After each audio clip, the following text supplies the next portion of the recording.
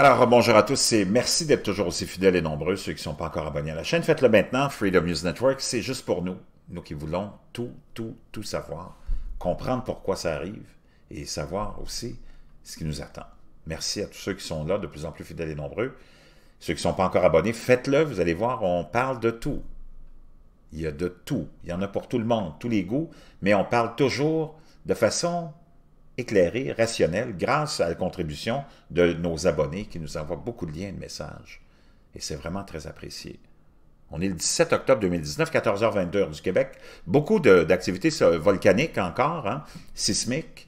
Je vais faire un tour dans ce qui se passe sur le Soleil. Aujourd'hui, si j'ai le temps, je vais aller voir quelle est l'activité euh, solaire, s'il y a des prédictions de tempêtes géomagnétiques pour les jours à venir, mais pour l'instant, en tout cas, c'est comme si tout, c'est comme si on en avait hein, de l'activité euh, solaire et des tempêtes solaires avec des, masses de neutrons qui viennent nous frapper avec l'affaiblissement de la magnétosphère, parce que beaucoup de tremblements de terre majeurs et beaucoup d'activités volcaniques. Un volcan sous-marin entre en éruption à Tonga, le panache de cendres, a atteint 17 000 pieds, et on, là, on vient de passer à une alerte orange, le volcan Métis Soal, à Tonga est entré en éruption le 15 octobre, donc il y a quelques jours, deux, envoyant un panache de cendres et de gaz situé entre 15 et 17 000 pieds au-dessus du sommet. On peut voir ici les images de l'agence météorologique de Tonga.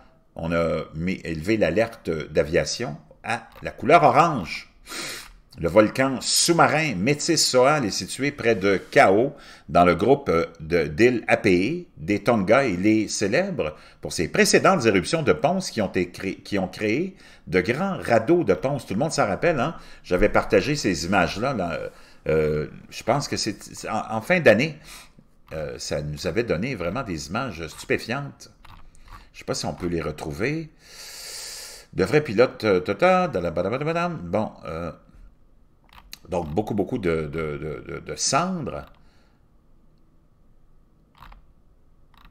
Donc, on émet un nouvel avis euh, d'observatoire des volcans pour l'aviation ce soir. Donc, on s'en va à la couleur orange. Bon, je pense que j'ai trouvé l'immense champ de pierre hein, ça nous avait donné. Euh, souvenez-vous de ce bateau naviguant dans un, immense champ de pierre. C'est ça qui était vraiment euh, très spectaculaire. Tout le monde s'en rappelle. L'éruption était si importante que des roches volcaniques et des cendres recouvraient complètement la surface de l'océan et que les eaux duveteuses étaient capturées sur des images satellites. Hein. Et ça avait donné... Euh, on voit ici ce, pilote qui, euh, a euh, récolté, hein, capturé ces roches-là. Et on voyait cette image satellitaire de ce fameux euh, on peut voir d'autres images ici hein, de, ce, de cette mer de, roches et de, pierres euh, volcaniques. Donc, l'éruption sous-marine à Lateiki, Métis Soal, Tonga, hein, le code de couleur de l'aviation pour le volcan, euh, précédemment connu sous le nom de Métis Soal, a été porté à l'orange. Des pilotes réels de Tonga volant entre Tonga, Tapu et Vanau ou Vavau ont observé des panaches intermittents s'élevant à plus de 4 à 5 km. Donc, ça nous a, forcé l'aviation, euh, à élever le code de l'aviation. Et on peut voir ici ces fameuses images euh, de, ce, de, ces euh, colonnes de feu, ou plutôt de, de cendres. Il n'y a pas de cendres volcaniques, juste de la vapeur et de la fumée, a déclaré Tamara Vuska, météorologue au Met Service, nous avertissons uniquement les aviateurs des cendres. Nous avons donc émis un avis pour informer les gens, mais il n'y a pas nécessairement euh, d'avis euh, pour le sol. Donc, on n'est pas comme dans la dernière euh, éruption qui nous avait amené à ces images complètement folles. Je vous laisserai le lien hein, de la boîte de description, dans la boîte de description de ces images qu'on peut voir ici, hein, complètement hallucinantes qui avait été provoqué par la dernière éruption. Donc, ça nous amène à, je pense que j'ai autre chose à vous dire, oui, une reprise de sismicité aussi et d'inflation au fameux volcan du Piton de la Fournaise. Depuis le 11 octobre, une reprise de la sismicité est observée sous le Piton de la Fournaise, ainsi que 36 séismes volcano-tectoniques superficiels qui ont été enregistrés dans la zone sommitale entre le 11 et le 15 octobre. Des séismes plus profonds sont également enregistrés. Cette sismicité est accompagnée d'une reprise de l'inflation, le gonflement de la base et du sommet de l'édifice du Piton de la Fournaise. Cette inflation de l'édifice est synonyme d'une pressurisation du réservoir magmatique superficiel localisé à environ 2 euh, à 5 km sous le sommet. Donc, ça m'amène, euh, je vais avoir, attendez, je vais aller vous chercher, il y a une, euh, j'avais une nouvelle aussi, un lien qui m'a été envoyé par Réjeanne de l'espèce de résumé de l'activité sismique. le rapport des, des, activités volcaniques plutôt, et c'est ça que je voulais vous partager. Ouais.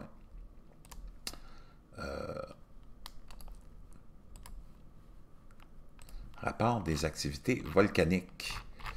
Donc, on va aller voir ça tout de suite. Gracieuseté de Watchers qui m'a été envoyé par euh, Réjeanne, qu'on salue. Rapport hebdomadaire de l'activité volcanique du 9 au 15 octobre. De nouvelles activités troubles ont été euh, signalées pour un volcan du 9 au 15 octobre 2019. Au cours de la même période, des activités au cours ont été signalées pour 13 volcans. Donc, les activités en cours sont ici, vous les avez, hein, tout est euh, énuméré. Euh, Lati, euh, les îles du Tonga, on vient d'en parler, euh, Aira, Kyushu, au Japon, qui est aussi en activité. On a Ambreim Vanuatu, qui est en activité. Je vous laisserai le lien dans la boîte de description aussi, vous pourrez lire ça en détail. Asosan, toujours au Japon. Dukono, en Indonésie les îles de Paramushir en Russie, Ebeko, le fameux volcan Ebeko, Ibu en Indonésie aussi, Karang, Karangetang en Indonésie, toujours, Krakatoa en Indonésie, euh, Merapi dans le Java central, toujours en Indonésie, Revantador en Équateur, Saban Kaya au Pérou, Semeru Java en Indonésie, toujours, le fameux euh, euh euh, dans le centre du Kam euh, en Russie. Euh, c'est quand même beaucoup, beaucoup, beaucoup, beaucoup d'activités. Je pense qu'il y avait autre chose, bougez pas. Je vais aller voir ça si je peux vous le trouver.